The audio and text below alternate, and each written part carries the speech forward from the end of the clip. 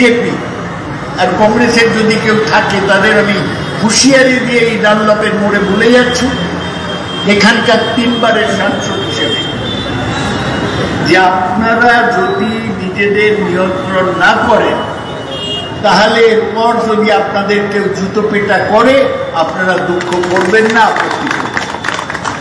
বলতে হলে যে ধরা পড়েছে তার বিরুদ্ধে ব্যবস্থা নেই কিন্তু দিনের পর দিন বলছে, চোর ধরো, জেল ভরো।